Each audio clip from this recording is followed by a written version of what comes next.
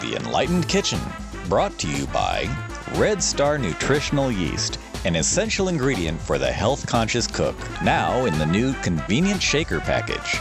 And by Laura's Wholesome Junk Food. Satisfy and energize guilt free with Laura's Wholesome Junk Food. All of them. And now for the fun part.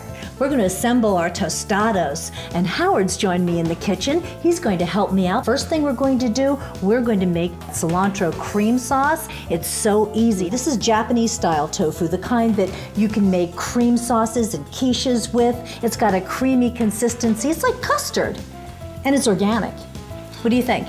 Well, I've had it, and I think it's excellent. I'm going to take this clove of garlic and put it into my TriBest personal blender, my favorite kitchen appliance. It comes with all these cups. You're probably better at this. Let me see if I can do this, Marie. Here, would you help me? Yeah. Okay. Now, just get it started.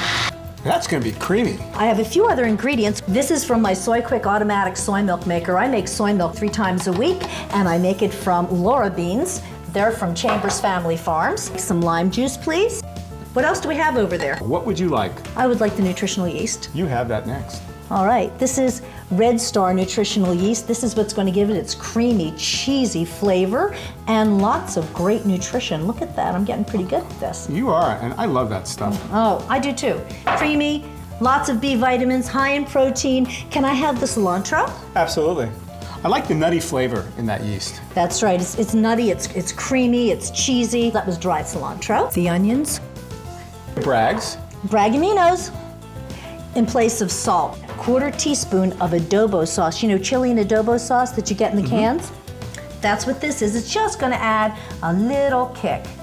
I'm gonna shake it up, and I'm just going to do that. The nice thing about silken tofu is that it absorbs the flavors of anything that you mix with it. So I made it last night. Mm. It sat overnight and the flavors married. That's pretty cool. I'm gonna set this aside. The shells are ready, aren't they? They are ready to go. We only used a little bit of olive oil spray. Crisp, Five minutes at 350. red, hot, chili, hummus.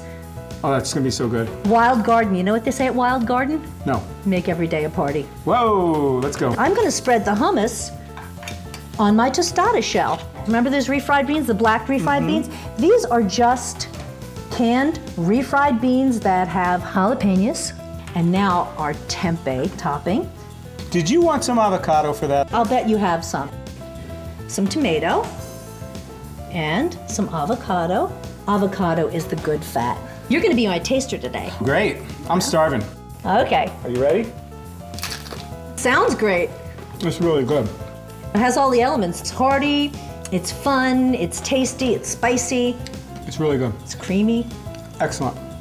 You want a bite? Yeah. Mmm. How did you do it without getting anything on your face? Mmm. Practice. oh, uh, that, that is good. And the hummus. Mmm. You know, the hummus really adds um, an interesting texture. Mm-hmm. And it's spicy, it's delicious. Make every day a fiesta with healthy food from the Enlightened Kitchen. Do I got stuff on my face?